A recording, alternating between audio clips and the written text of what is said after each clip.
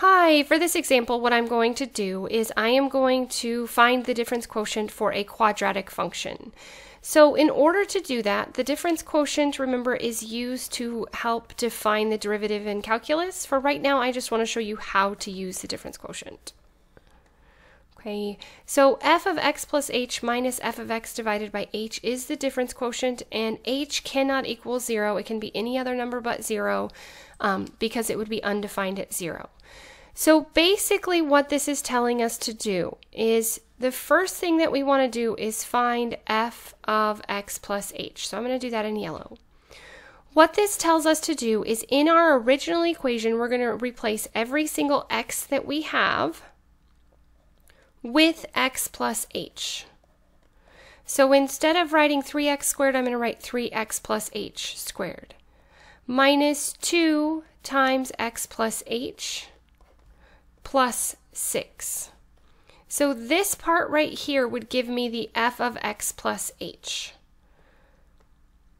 And then I'm going to subtract from it f of x. So I'm going to take this equation here, and I'm going to subtract just the original function. So 3x squared minus 2x plus 6.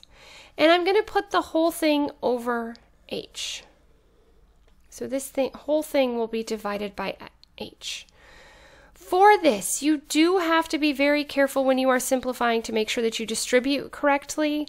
Um, your goal at the end is everything that does not have an h should cancel out. Um, so with this, basically what I'm going to do is I'm going to go through and simplify each part. So the first thing I want to simplify is this part right here. Okay, so when I simplify that, I would keep the 3 on the outside for now. I'm going to square the first term, which would give me x squared. Remember that this is really x plus h times x plus h, so I have to distribute the x to the h, and I will have two of those, so don't forget the middle term on this one, plus h squared. So that's the first part.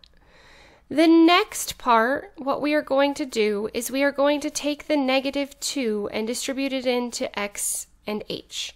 So I would have negative 2 times x, which gives us negative 2x, and negative 2 times h, which gives us negative 2h. The plus 6 stays the same.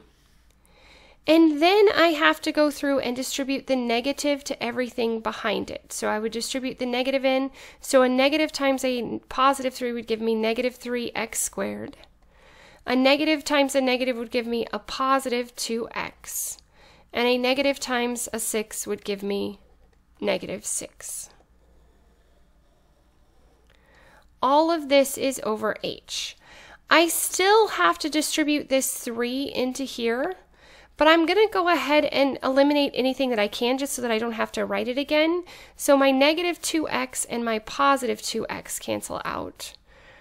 And my positive 6 and my negative 6 cancel out. So just so that I don't have to rewrite that, I'm going to go ahead and distribute the 3 in and be very careful to make sure that you distribute the 3 to everything. So I would have 3 times x squared, which is 3x squared. 3 times 2xh, which is 6xh. And 3 times h squared would give me 3h squared.